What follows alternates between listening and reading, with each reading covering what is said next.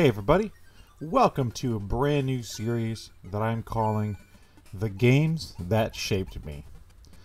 This is very unique um, because this is, uh, as of right now, the only new thing I'm adding in 2022 to the Turbo Zone lineup.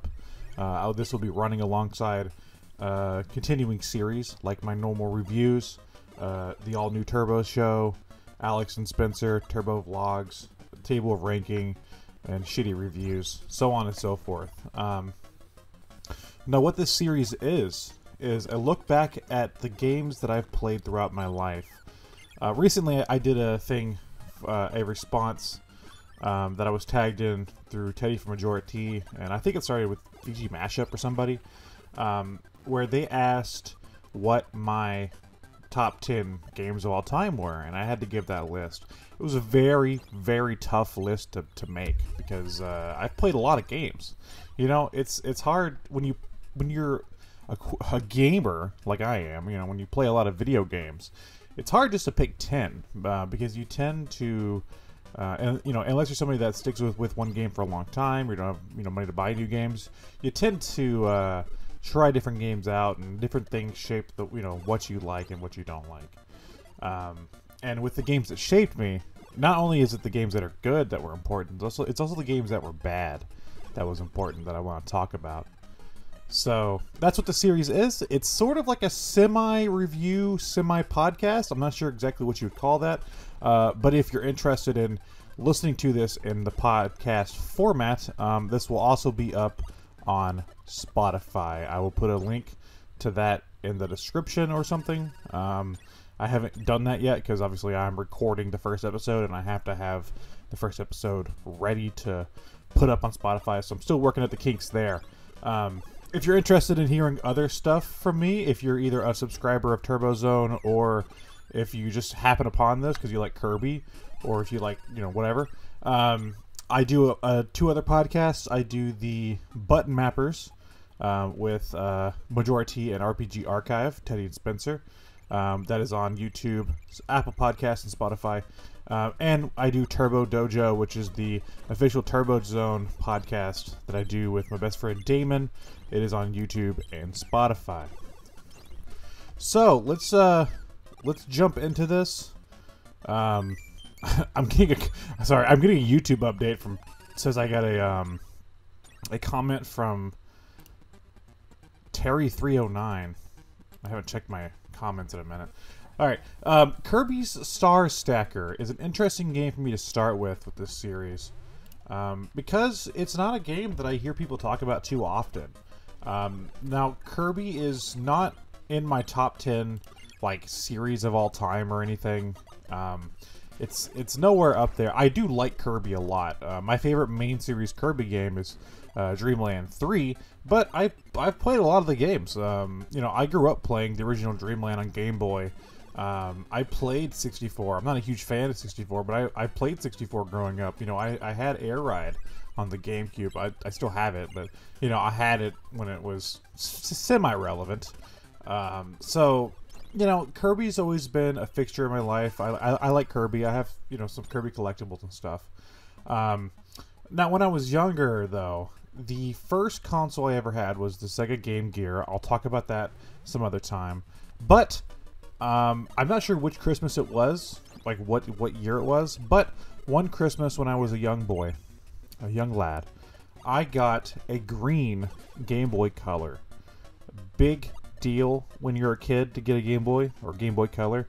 I didn't, like I said, I didn't have a Game Boy. I had a Game Gear, which suited me well. I'm a huge Sega fan, but uh, the Game Boy is a phenomenal platform, and I got it with a few games. I think I got like the Emperor's New Groove, um, Q*bert, and Pokemon Motherfucking Gold.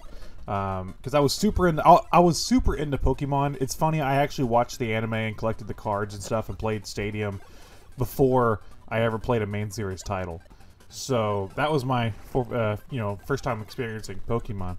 But after getting the Game Boy Color, the, I would play the Game Boy a ton, and it would be the console that I would get a lot of games for. I also had a 64 and a PS1, but, um, you know, there's just something great when you're a kid about being able to play a handheld console like and still be around your family when when you're playing like a 64 or a PS1 or something at that time. You know, and like and, and, unless you're sitting in the living room and your family watches you play or something, like it's sort of an antisocial um, thing to do. You know, you're kind of locked away in your room playing by yourself or something, unless you're playing multiplayer. So the Game Boy was great because I could be out with my family in whatever room they're in. You know, the living room, outside, in the car, you know, whatever we're doing at grandma's house, but I could still be playing my video games. And the Game Boy was a great uh, the way for me to do that. Um, I got those three games, but that's not the only games I had on Game Boy. Um, I had a lot of other games that shaped me for good or bad. Uh, you know, some of the good ones being like Donkey Kong Land, Mario Land 2, the original Kirby's Dream Land. A, lot of lands. There's, there's, a lot of lands on the Game Boy, it seems like. Um, and some of the ones that shit me for the worst. Um, maybe the Game Boy port of Mortal Kombat. Jesus. Um, I would I would mainly get these games at at yard sales, flea markets. We weren't very uh, well off when I was growing up, um, which is something that surprises a lot of people, especially when I got to like high school because I had a lot of video games at that point, and that was just me like, never getting rid of anything. And uh, there was like, "You're spoiled," and I'm like, "No, it's like actually we're pretty poor. I just keep everything that I get." Um, so one of the games that I got one day, I don't know if it was at a yard sale, I don't know if it was at a flea market, which if you don't know what a flea market is, it's basically just a hillbilly yard sale, just a bunch of bunch of hillbillies all together selling shit. Um, you know, you can go there and buy knockoff products and and food and you know whatever else. And usually back then you can get reasonable deals on games. So now they try to scalp you. I went to a uh, a flea market um, back in 2016 and dude tried to sell me a copy of Mario Bros. Duck Hunt for like fucking like 20 bucks or something. It was something stupid. I was like, this is not worth $20. Uh, I had just gotten the Retron 5, so I'd started collecting some more NES games, and of course that was one of the first ones I wanted to get. Um, I didn't buy it from him though, because once again he was trying to rip me off. So back then, though, you can get some reasonable deals for old old games because people didn't know, you know, there was no internet really, and people didn't know the value. Um, so one day I got Kirby's Star Stacker. Now Kirby's Star Stacker is notable because it's my first real puzzle game.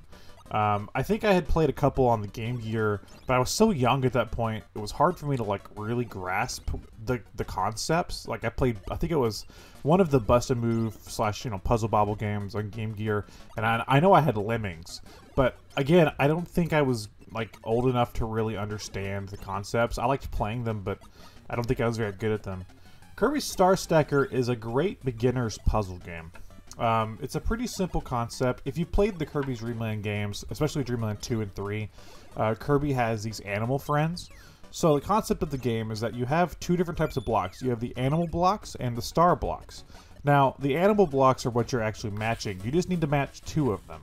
Um, but putting them side by side isn't what you want to do.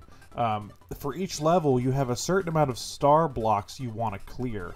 It tells you um, on the side panel. And what you want to do is link as many of those like uh, star blocks uh, between any two uh, of the you know matching animals to uh, clear a line of, of stars, and that you know uh, reduces your star count. It's kind of hard to explain, but it's pretty simple. Um, the first few difficulties are very easy, very easy, and to, uh, like I think easy difficulty even like sometimes just tells you straight up like put the block here. Um, what's cool is that if you get two matches in a row, it starts this chain reaction where Kirby will start throwing stars down onto the playfield and start helping you clear out the board. So ideally, most of the puzzles you can, if you know what you're doing, you can clear them out in just a couple moves through that combo mechanic. It's very neat. Um, the game gets much harder though when you get into the hard and very hard difficulties. That's where I like to play now uh, because I've I've had a lot of experience playing this game. But um, when you're a kid, though, you know, having the easier difficulties really helped me to grasp the idea of a puzzle game. Again, I didn't play a lot of puzzle games at this point, so this was really the first of its kind, and I remember playing this game for hours. I remember like vacations and car rides and stuff where I was just playing Kirby's Star Stacker. And again, at this point, I had played Dreamland 1, but Kirby wasn't like some, you know, he wasn't a, a part of my my regular, you know, gaming habits. It wasn't like I loved the Kirby franchise.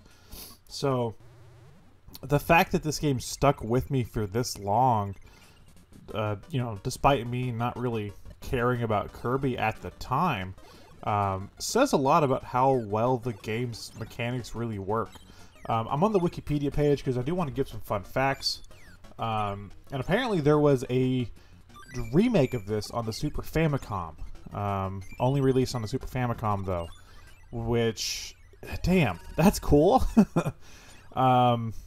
I need to see if I I have a again I have a Retron Five, so I can play Super Famicom titles. I need to see if I could track down a copy of that to add to my Super Famicom library uh, because that's that's pretty cool.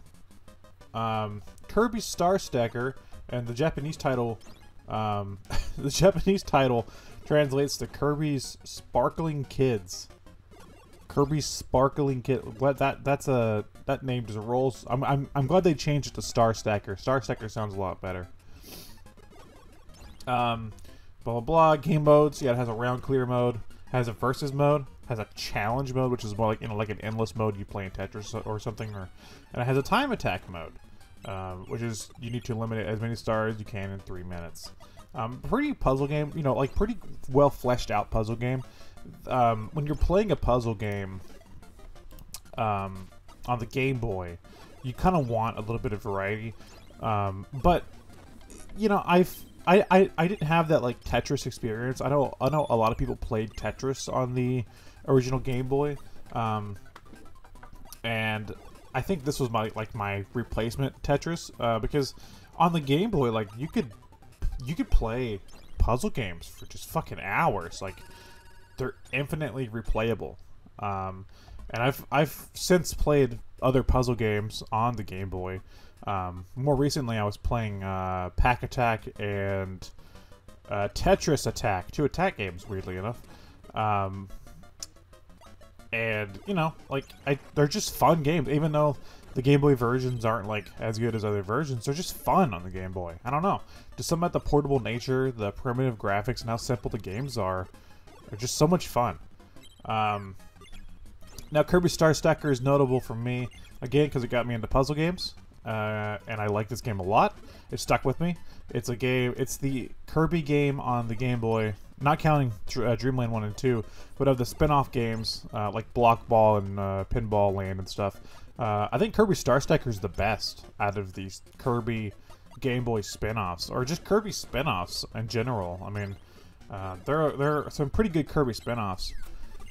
What's funny is that later on, on the Super Nintendo, they would release uh, Kirby's Avalanche, which is a conversion of Puyo Puyo, which is strange to me uh, because Kirby's Star Stacker exists, and they did a remake on the on the Super Famicom. Um, it seemed like they wanted could have wanted to st like stick to the the originality the, that Star Stacker had within the Kirby franchise. So that's strange. What's also strange is that I never played Avalanche until like until recently, um, but I played Doctor Robotnik's Mean Bean Machine a ton on this on the Sega Genesis, and through that game, which is basically the same thing as Avalanche, just reskinned with uh, Sonic. Um, through that game, Puyo Puyo became my all-time favorite puzzle game. So even though like I didn't play Kirby's Avalanche, Kirby is still somehow linked with my all-time favorite puzzle game, Puyo Puyo.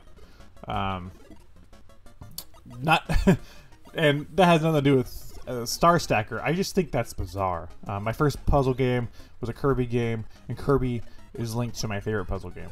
So that's a weird um, chain of coincidences. Um, you know, uh, other than that, there's really not a lot to say on the Wikipedia page for this game. Wow. Um, I wonder if it has any reviews. Kirby, let's see, let's look at Kirby's Star Stacker reviews. See what people thought of it. Nintendo Life. Uh, see if I can find anybody from like a long time ago. A long time ago. No, I'm, I'm only gonna find like recent stuff. Um. Uh. That kind of sucks. I wish I had like a way to look up old magazine reviews. I'm, I'm sure I can. I just I just don't don't do that often. Um, oh shit! I forgot Kirby's Tilt and Tumble was also in Game Boy. I didn't play that. I wonder if that's good. Let me know in the comments if uh, Kirby's Tilt and Tumble is any good. Um, but yeah, that's my history with Star Stacker. Uh, pretty, I, I, pretty simple game to open the episode with. Uh, you know, open the series with with the first episode with Star Stacker because I wanted to give this a test run and see what you guys think. And I wanted to talk about a game that maybe I haven't talked about. If you're watching the YouTube upload, I do have gameplay, and I will try to have gameplay for all of the games. Uh, if you're listening to this on Spotify, uh, you're just looking at whatever dumb logo I've created for this series. So uh, just imagine, just imagine a baby puke green Game Boy screen. Cl close your eyes with me. Baby puke green Game Boy screen, and Kirby is on the side of the the the puzzle thing, dancing, while you drop the blocks, and Dedede is up top, and as you get closer and closer to finishing the level, Dedede gets more worried. His facial expressions get more and more worried. But if you start to lose, he becomes very happy. Um, and that's the game. there you go. Visual representation through audio format. Uh, I should start reading books on tape for this show. And Kirby stepped into the whatever. I don't know. I can't think of any uh, funny book references offhand. I'm not a big book buff. um, this version was released. Oh, never mind. Well, fuck. Why did the Super Famicom version never come out over here? Like, even later on, it only got a Wii Virtual Console re-release in Japan. They would bring, they would go through the trouble of localizing Sin and Punishment for the 64 to play on the Wii's Virtual Console. Which, by the way, as much as I love Sin and Punishment, that's another series I will have to do an episode on or something.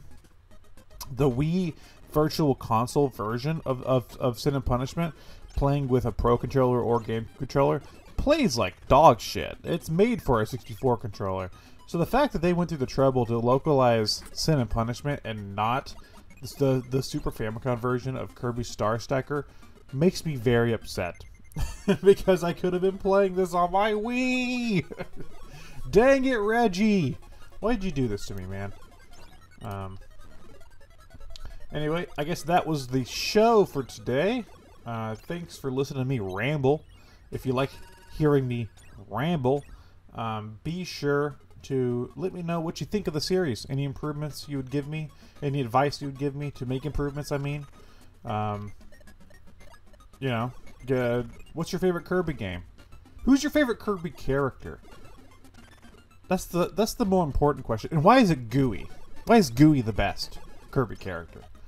if you don't know who Gooey is, go go educate yourself on the uh, history of Gooey.